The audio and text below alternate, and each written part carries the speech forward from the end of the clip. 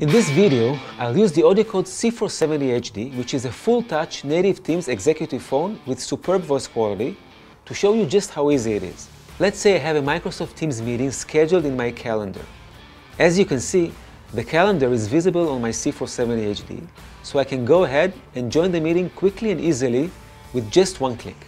By the way, I could still join the meeting in exactly the same way even if my computer was completing a reboot or was still in the process of connecting to my office docking station. No need to miss anything at all.